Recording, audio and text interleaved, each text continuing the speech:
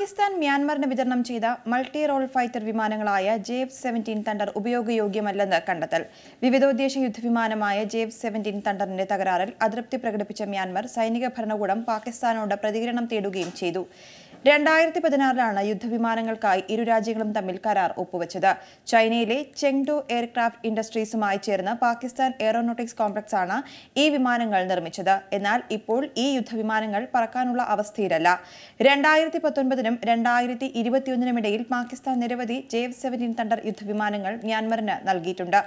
അവയെല്ലാം പ്രവർത്തനയോഗ്യമല്ലെന്നാണ് കണ്ടെത്തൽ. അതുകൊണ്ട് തന്നെ ഇതോടൊപ്പം പാക് മുൻ പ്രധാനമന്ത്രി ഷഹബാസ് ഷെരീഫിനും കരസേനാ മേധാവി അസിം മുനീറിനും ശക്തമായ സന്ദേശവും മ്യാൻമർ അയച്ചിട്ടുണ്ട്. തങ്ങൾ വഞ്ചിക്കപ്പെട്ടുവെന്നാണ് മ്യാൻമർ മാധ്യമങ്ങൾ റിപ്പോർട്ട് ചെയ്യുന്നത്. വിമാനങ്ങൾ എത്തിച്ചതിനു ശേഷമാണ് സാങ്കേതികവും ഘടനാപരവുമായ തകരാറുകൾ മ്യാൻമർ അറിഞ്ഞത്. ഇതേ തുടർന്ന് മ്യാൻമറിന് ഈ വിമാനങ്ങളുടെ പ്രവർത്തനം നിർത്തേണ്ടി വന്നു. ഇതിനു പിന്നാലെ ഈ യുദ്ധവിമാനങ്ങൾ നന്നാക്കാൻ പാകിസ്ഥാൻ ടീമിനെ അയക്കുകയും ചെയ്തു. എന്നാൽ ഇതിനുശേഷവും ഒരു പുരോഗതിയും ഉണ്ടായില്ല. ഇപ്പോൾ ഈ യുദ്ധവിമാനം പറക്കാനുള്ള അവസ്ഥയിലല്ല. ഇതിനി വിൽക്കാൻ മാത്രമേ പറ്റുകയുള്ളൂവെന്നും മാധ്യമങ്ങൾ പറയുന്നു. മ്യാൻമറിന് നൽകിയ ജേവ് സെവന്റീൻ പരാജയപ്പെട്ടതിനു ശേഷം ഇപ്പോൾ ഇരു രാജ്യവും പാകിസ്ഥാനിൽ നിന്ന് വിമാനം വാങ്ങാൻ തയ്യാറായിട്ടില്ല. കരാറിൽ നിന്ന് മ്യാൻമർ പിന്മാറാനുള്ള സാധ്യത കണക്കിലെടുത്ത് ചൈന വിഷയത്തിൽ ഇടപെടൽ നടത്തുന്നുണ്ട്.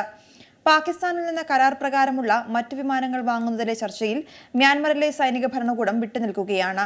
വിമാനങ്ങൾ പാകിസ്ഥാനിൽ നിന്ന് രാജ്യത്തെത്തിയ ശേഷമാണ് തകരാർ മനസ്സിലാക്കിയതെന്ന് മ്യാൻമർ വ്യക്തമാക്കുന്നു. ജേവ് സെവന്റീൻ വിമാനങ്ങളുടെ തകരാർ സംബന്ധിച്ച വിവരങ്ങൾ പുറത്തുവന്നതോടെ ലാറ്റിൻ അമേരിക്കൻ രാജ്യങ്ങൾ ഉൾപ്പെടെയുള്ള രാജ്യങ്ങൾക്ക് വിമാനങ്ങൾ വിൽക്കാനുള്ള പാകിസ്ഥാന്റെ നീക്കവും പ്രതിസന്ധിയിലാണ്. ഏറ്റവും പുതിയ വാർത്തകളും വിശേഷങ്ങളും വിരൽ തുമ്പിലറിയാൻ സി മലയാളം ന്യൂസ്. എല്ലാ ഡിജിറ്റൽ പ്ലാറ്റ്ഫോമുകളിലും ലഭ്യം.